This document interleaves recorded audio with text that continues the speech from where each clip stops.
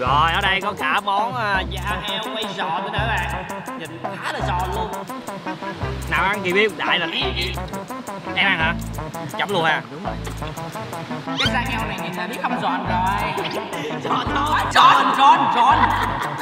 Giòn, giòn. Đó là thử rồi. Giòn không nha. Giòn. Không giòn. Chắc là không giòn đâu. Giòn không, giòn không Giòn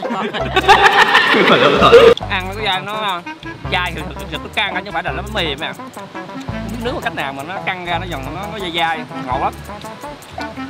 Giòn. Giòn, Giòn. Giòn.